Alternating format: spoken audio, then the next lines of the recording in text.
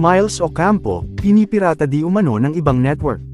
Matapos nga na magkaroon ng napakagagandang positive reviews dito kay Miles Ocampo, at sa mga ipinapakita nitong husay sa pag-host at sa comedy, ay hindi po maiiwasan na napakarami ang nagbibigay ng offer sa kanya. At kung bibisitahin nga ninyo ang kanyang Instagram account, marami na po siyang endorsement na ginagawa through online, which is bagay na tinanggap niya yon dahil hindi ito makakasagabal doon sa schedule na mayroon siya ngayon. At alam naman natin, na isa sa pinapangarap ni Miles Ocampo at Maha Salvador noong sila pa ay nagsisimula pa sa branded Eat Bulaga, ay ang mapabilang at matawag na legit the Barkads. Kaya naman sobra ang kanilang pasasalamat noong sila ay mapabilang sa mga host ng longest running noontime show at makasama ang legendary trio na TVJ. Para nga sa kaalaman ng lahat, si Miss Miles Ocampo ay isang freelancer artist, which is means pwede siya sa kahit anong network.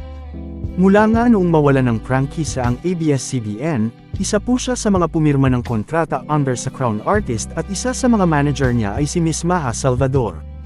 Kasama niya rito sina John Lloyd Cruz at iba pang magagaling na actors and actresses ng Crown Artist na pinamumunuan ni Miss Maha Salvador. Dahil po dito, pag ikaw ay isang freelancer, in any moment pwede po kayong kunin ng iba't ibang network.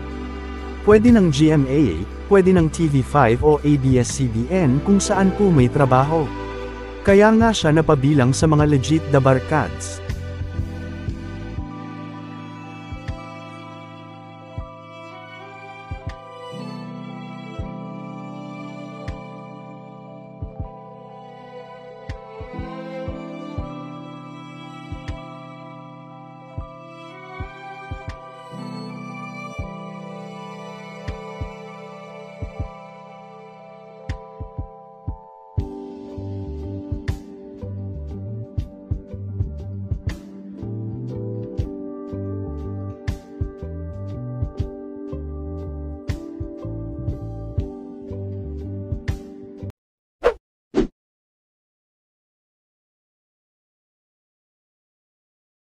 Thank you.